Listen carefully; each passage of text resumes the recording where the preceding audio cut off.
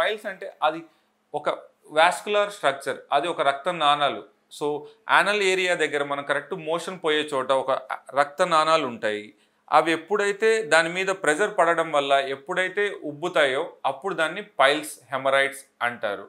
So ఏ ఏ కండిషన్స్లో మనకు అవి ఉబ్బుతాయి? మనకు మోషన్ టైట్గా పోయినప్పుడు ఆ హార్డ్ స్టూల్స్ వల్ల ఆ ప్రెజర్ పడినప్పుడు అవి ఉబ్బుతాయి. తర్వాత ఎక్కువగా ఒబిసి ఉన్న వాళ్ళలో కొంతమందికి అవి ఉబ్బుతాయి.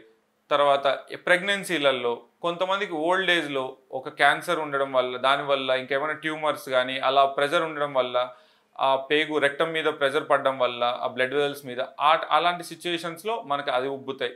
ఇవన్నీ హెమరాయిడ్స్ ఇంకా జెనెటికల్గా కూడా వచ్చే ఛాన్సెస్ ఉంది. హెమరాయిడ్స్. సో హెమరాయిడ్స్లో రెండు రకాలు అనేవి ఉంటాయి. మొదటిది ఎక్స్టర్నల్ హెమరాయిడ్స్ ఇంటర్నల్ హెమరాయిడ్స్ అని ఉంటాయి. ఎక్స్టర్నల్ హెమరాయిడ్స్ అంటే మీరు ఇక్కడ ఇక్కడ మనకు యానల్ ఏరియా బయట నుంచి వస్తుంటుంది. దీన్ని ఎక్స్టర్నల్ హెమరాయిడ్స్ అంటారు.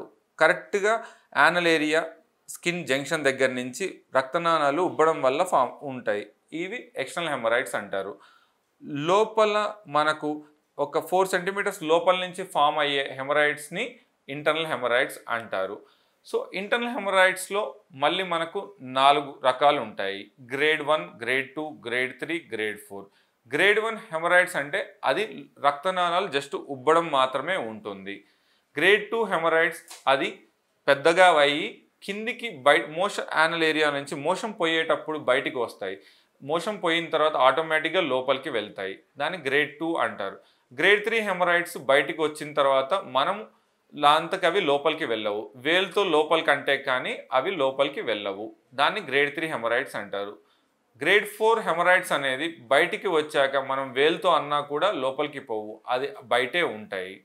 సో ఇప్పుడు మనము హెమరాయిడ్స్ వల్ల ప్రాబ్లమ్స్ ఏమొస్తాయో తెలుసుకుందాము. మొదటిది ఎక్స్టర్నల్ హెమరాయిడ్స్. ఎక్స్టర్నల్ హెమరాయిడ్స్ పెద్దగా ప్రాబ్లం కాజ్ చేయవు.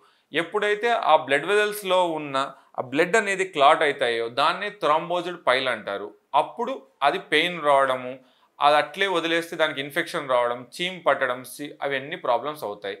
Internal haemorrhoids. ఇంటర్నల్ హెమరాయిడ్స్ వల్ల ప్రాబ్లం ఏంటి? అవి పెయిన్లెస్ నొప్పి లేకుండా మోషన్ పోయినప్పుడు బ్లడ్ రావడం అనేది జరుగుతుంది. ఆ మోషన్ పోయిన తర్వాత చుక్కలు చుక్కలు బ్లడ్ పడడము మోషన్ నుంచి సపరేట్గా పడడం అనేది జరుగుతుంది.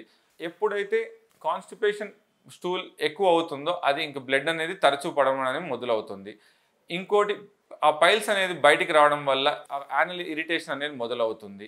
కొంతమందిలో బయటికి వచ్చి అసలు లోపలికి పోకపోవడం వల్ల కొంచెం కొంచెం మోషన్ అనేది బయటికి అలా వస్తూ ఉంటుంది. దాన్నే ఫీకల్ ఇంకాంటినెన్స్ అంటారు. అది కూడా డెవలప్ అయ్యే ఛాన్సెస్.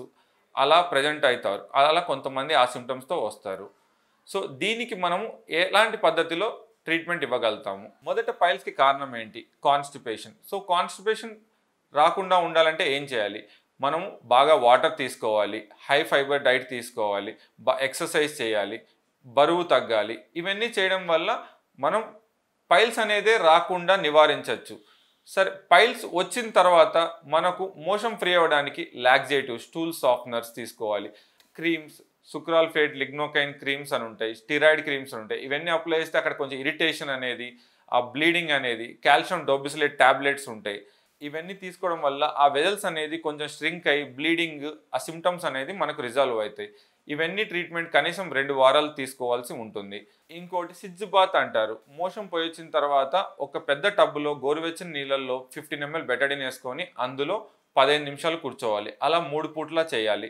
అలా రెండు వారాలు చేస్తే క్రీమ్ ఈ మోషన్ ఫ్రీ అవ్వడానికి లాక్జేటివ్స్ ఈ సిడ్జ్ బాత్ అనేది చెప్పిన విధంగా మూడు రెండు వారాలు చేస్తే మీకు కంప్లీట్గా రిజల్యూషన్ వస్తుంది.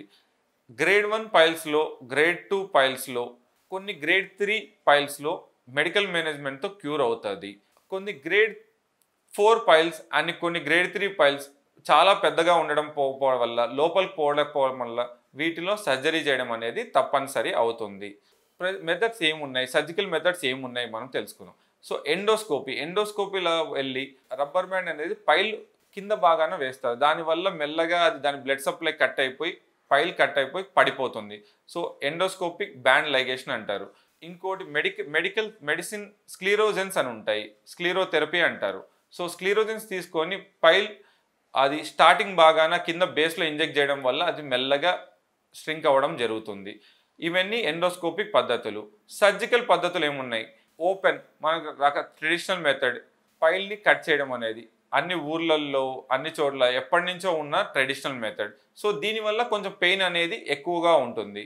రా ఏరియా అంటే పచ్చి పచ్చిగా ఉండి ఎక్కువ రోజులు ఆపరేషన్ అయినా కూడా కొద్దిగా ఎక్కువ రోజులు బ్లీడ్ అవ్వడం అనేది జరుగుతుంది. ఇంకోటి లేజర్ హెమరాయిడోప్లాస్టీ. ఇది కొత్తగా వచ్చింది. మనకు లేజర్ వాడడం అనేది. So grade one grade two grade three పైల్స్లో laser అనేది బాగా పనిచేస్తుంది. ఇంకో విధానం స్టాప్లర్ హెమరాయిడోప్లాస్టీ. ఇది గన్నులాగా ఉంటుంది. లోపలికి ఇంజెక్ట్ చేసి మనము దాన్ని కట్ చేస్తే టిష్యూ మొత్తం ఒక్కసారిగా కట్ అయిపోతుంది. మనకు పైల్స్లో గ్రేడ్ వన్ గ్రేడ్ టూ మొదట ఎప్పుడైనా కూడా మందులే వాడతాము. మోషన్ ఫ్రీగా పెట్టుకోవడానికి చూస్తాము. నీళ్ళు బాగా తాగి ఫైబర్ సప్లిమెంట్స్ తీసుకొని లాక్జేటివ్స్ వాడి మెడికల్ మేనేజ్మెంట్ చేస్తాము. అయినా తప్పకుండా వస్తోంది అంటే మాత్రం గ్రేడ్ వన్ గ్రేడ్ టూ ఉన్న అండ్ గ్రేడ్ త్రీ గ్రేడ్ ఫోర్లో సర్జరీ చేయడం అనేది తప్పనిసరి.